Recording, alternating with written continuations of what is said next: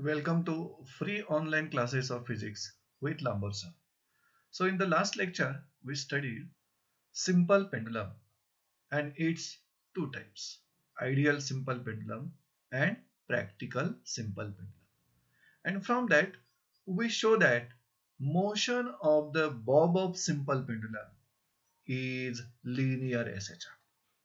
And from that article, we find the expression for time period of simple pendulum t equal to 2 pi under root L upon G.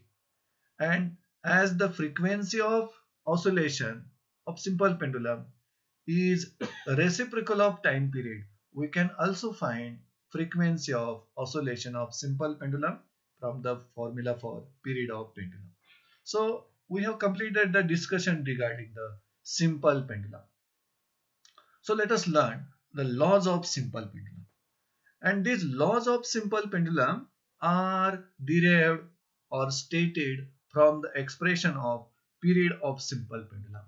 We know that period of simple pendulum t equal to 2 pi under root L upon G.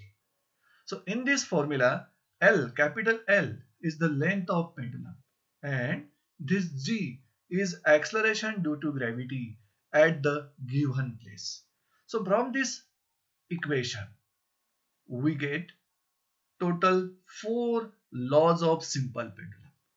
First law is the law of length and this law gives us the relation of time period and length of simple pendulum. So we can state the law of length of simple pendulum like this. Time period is directly proportional Two square root of length of pendulum त्यामुळे mathematically हा जो law आहे तो तुम्ही असा लिहू शकता that is T equal to T sorry T is directly proportional to square root of L.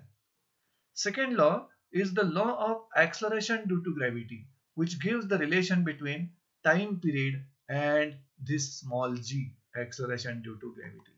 So the second law law of acceleration due to gravity. So it can be stated like this. Time period is inversely proportional to square root of acceleration due to gravity.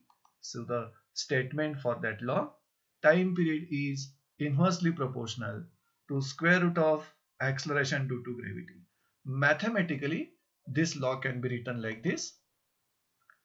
T is inversely proportional to square root of g. So these were the two laws which are from the equation of time period of simple pendulum. At the same time, the mass of the bob of simple pendulum is not in the expression of period. At the same time, there is no amplitude of oscillation also. That's why we will state third law as the law of mass. And this law states that period or time period of simple pendulum independent of mass of the pendulum. See here, time period is independent of mass of the pendulum. And fourth law is the law of isochronous. the law of amplitude. So we can say that time period is independent of amplitude of oscillation of simple pendulum. But this is provided this amplitude is small. म्हणजे time period हा अँप्लिट्यूडला independent राहील what is the condition that amplitude should be small so the statement of fourth law time period is independent of amplitude of pendulum provided that that amplitude is small. So these are the total four laws of simple pendulum. That laws, we get that laws from the equation of time period of simple pendulum. So let us learn now seconds pendulum. See here seconds pendulum and या seconds pendulum ची definition घेताना seconds pendulum is nothing but simple pendulum but that simple pendulum having the time period of 2 seconds म्हणजे ज्या simple पेंडुलमला one oscillation complete करण्यासाठी two seconds एवढा time लागतो त्या सिंपल पेंडुलमला तुम्ही सेकंड पेंडुलम म्हणू शकता. So the definition of second pendulum is like this a simple pendulum whose period is two seconds म्हणजे ज्या सिंपल पेंडुलमचा टाइम पिरियड हा टू सेकंड असेल त्याला आपण सेकंड पेंडुलम असं म्हणू शकतो. So let us now try to find what will be the length of that seconds pendulum. So to find the length of second pendulum आपण ज्या सिंपल पेंडुलमची टाइम पिरियड टू सेकंड असेल त्याला second pendulum म्हटलं. मग two second time period असणाऱ्या second पेंडुलमच्या स्ट्रिंगची लेंथ किती असणार? त्याचं एक्सप्रेशन आपण फाइंड आउट करूया. So time period of simple pendulum आपल्याला माहिती आहे T equal to two pi under root L upon G आणि जर हा सिंपल पेंडुलम सेकंड पेंडुलम असेल तर हा टाइम पिरियड म्हणजे टू सेकंड असेल. See here for second pendulum this time period equal to two second so you if you substitute here T equal to two you will get two equal to two pi under root L S upon G this L S yes हे suffix का आलं? आता हा simple pendulum नसून हा second pendulum आहे. कारण इथं त्याचा टाइम पिरियड तुम्ही टू सेकंड सबस्टिट्यूट केलेला आहे. दोन्ही साईडला टू कॅन्सल होईल आणि तुम्हाला मिळेल one equal to pi under root L S upon G आता जर या इक्वेशनचा तुम्ही स्क्वेअर केलात तर त्या स्क्वेअर मधून तुम्हाला एल एस म्हणजेच length of second pendulum find out करता येईल.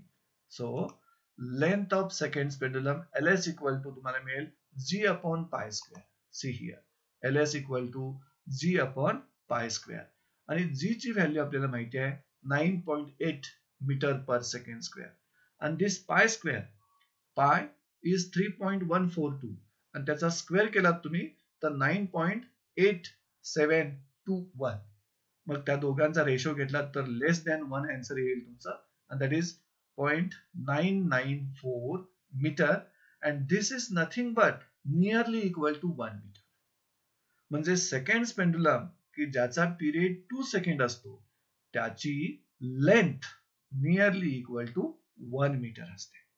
सो युजिंग दिस इक्वेशन ह्या इक्वेशनचा यूज करून we can find length of second pendulum at a place म्हणजे ज्या प्लेसची ऍक्सलरेशन ड्यू टू ग्रॅव्हिटीची व्हॅल्यू तुम्हाला माहिती असेल त्या प्लेसच्या ठिकाणी सेकंड पेंडुलमची लेंथ आपण फाइंड आउट करू शकतो by using this formula L S equal to g upon pi square आता जी तुम्हाला सेकंड पेंडुलमची लेंथ मिळालेली आहे ती on the surface of earth जिथं जी ची व्हॅल्यू आपण नाईन पॉईंट एट घेतलेली आहे. आणि अर्थच्या सरफेसवर पण जी ची व्हॅल्यू डिफरंट आहे. इक्वेटरवर g has least value minimum value आणि पोल्सवर जी ची व्हॅल्यू मॅक्झिमम आहे. मग त्यानुसार सेकंड पेंडुलमची लेंथ देखील जी नुसार चेंज होणार आहे. So using this formula we can find length of second pendulum at a place At the same time experimentally, जर तुम्हाला एल एस माहिती असेल see here, experimentally, if L S is second second पेंडुलमची length एखाद्या प्लेसची माहिती असेल one can determine value of g at that place म्हणजे एखाद्या प्लेसच्या ठिकाणी सेकंड पेंडुलम तुम्ही घेतलात आणि त्याची लेंथ माहीत झाली तुम्हाला सेकंड पेंडुलमची तर तुम्ही त्या ठिकाणच्या ऍक्सलरेशन ड्यू टू ग्रॅव्हिटीची पण व्हॅल्यू फाइंड आउट करू शकता. So these are the two concept from the same article simple pendulum laws of simple pendulum एकूण चार लॉज तुम्ही स्टेट केले समजावून घेतलात. आणि त्यानंतर सेकंड पेंडुलम की ज्या सेकंड पेंडुलमच्या लेंथचं एक्सप्रेशन इथं आपल्याला फाइंड आउट झालेलं आहे. So in this way we studied the concept simple pendulum now in the eleventh standard as well as in the twelfth standard first chapter मध्ये रोटेशनल डायनॅमिक चॅप्टर मध्ये तुम्ही conical pendulum study केलाय मुलांना आणि या fifth chapter मध्ये oscillation या टप चॅप्टर मध्ये सिंपल पेंडुलम डिटेल स्टडी केलेला आहे so what will be the difference between the conical pendulum and simple pendulum let us learn that difference distinguish between conical pendulum and simple pendulum आपल्याला सर्वांनाच माहिती आहे conical पेंडुलममध्ये string आणि bob असतो. Simple पेंडुलममध्ये देखील स्ट्रिंग आणि बॉबच असतो. पण दोन्हीही पेंडुलम पूर्णतः वेगळे आहेत पूर्णतः डिफरंट आहेत. पहिला डिफरन्स म्हणजे काय? जी ट्रॅजेक्टरी आहे किंवा पात आहे मोशनचा त्या बॉबचा. तर conical पेंडुलममध्ये trajectory and the path of motion is in horizontal circle that bob is moving in horizontal circle in case of conical pendulum but in case of simple pendulum the trajectory and path of motion is in vertical circle म्हणजे vertical सर्कलचा एक small part that will be the trajectory and path of conical pendulum at the same time we know that period of conical pendulum आणि period of simple pendulum हा देखील डिफरन्शिएशनचा एक point तुम्हाला मिळेल.